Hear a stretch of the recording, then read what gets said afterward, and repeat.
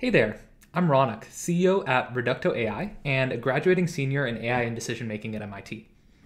A few weeks ago, I built a viral developer tool that gives large language models long term memory. And I did it in eight hours. Never before have developers had the tooling to move this quickly in building powerful applications. Today, I'm going to talk about rapid prototyping in Next.js and share the story of how I built Remembrall, a long-term memory system for language models that integrates in a single line of code. Let's back up though. Why did I decide to build this? Well, it started when I was coding an AI-powered journal app for myself to help me introspect a little bit better. But I was really frustrated when the AI features um, that I was building wouldn't remember important details from my past journal entries and conversations that I was working with. Off-the-shelf solutions like LangChain and LlamaIndex just wouldn't cut it.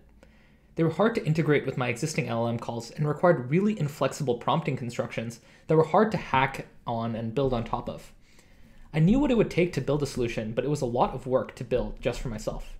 For one, anytime the user would send a message or engage with a language model, I'd have to set up an extraction process to take out the pieces of information that were relevant that I should remember for the future.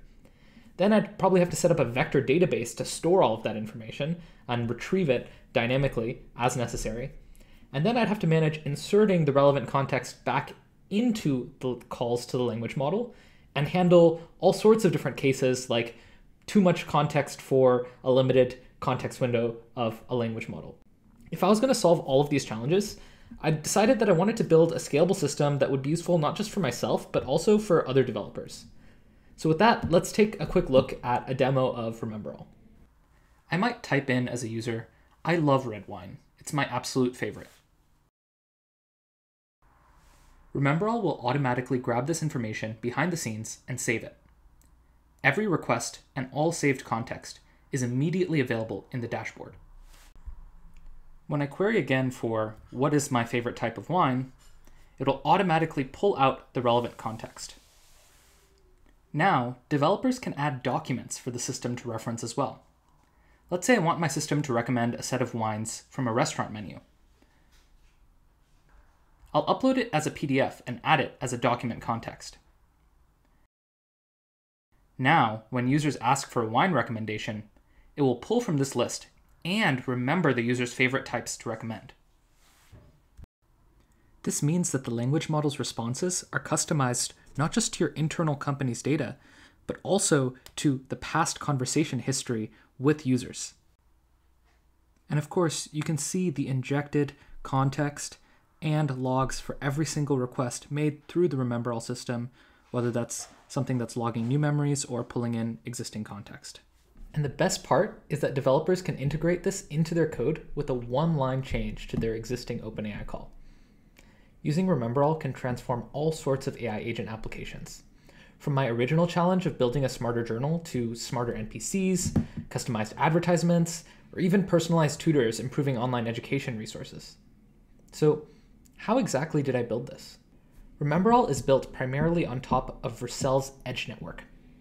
By using an Edge function, we can allow developers to add a super fast proxy on top of their OpenAI calls that records relevant information for future memory and automatically manages the limited context of the language model.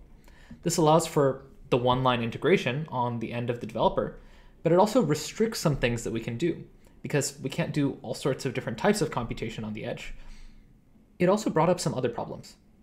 I knew users wouldn't be able to stack multiple proxies, so I had to provide a lot of the value that Helicone and some of the other observability platforms that there are for OpenAI and these other LLM APIs are we're building.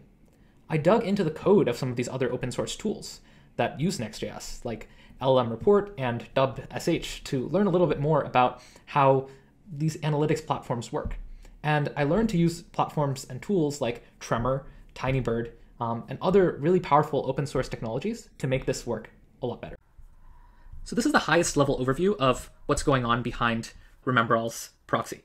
So a user on an LLM powered application will make a request, and instead of going straight to OpenAI or Anthropic or any other LLM provider, it'll instead be routed through Remembrall's edge function. And this edge function will basically insert some extra special context. It'll go back to the LLM provider, and then the returning request is going to be going again through the edge function and passed back to the user. And the advantage of doing this on the edge is that we can kind of make this code, this edge code, run really, really close to wherever the user is and reduce a lot of the latency that comes from these messages traveling long distances. Let's actually break down what's going on inside of this edge function and how and why we're doing this. So you can see I've kind of drawn an expanded view of this edge function right here. And you can see the incoming message comes in, and the first thing we do is calculate a text embedding for that incoming message. And so the text embedding basically extracts, you can think of as a vector representing the approximate meaning of the text that the user entered. Then we go ahead and make a lookup in a vector database. I'm using Postgres and pull all of the most relevant memories associated with that user, things that I should remember, and I pull those out from the, the database. And then I add that to the prompt that is sent to the LLM provider. So that's kind of these three pieces right here.